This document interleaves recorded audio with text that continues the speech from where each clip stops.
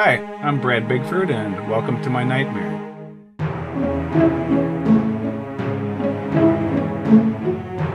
I've always been fascinated with toys because of the, the colors and the shapes, textures, and the culmination of all these things.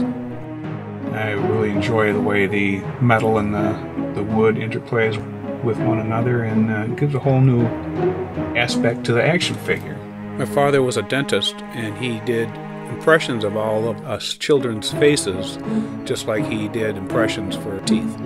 That's the reason that I was interested in the casting process as a sculptural venue because of him. Uh, defines humans from animals is the ability and the desire to create something that's original that comes expressly from you.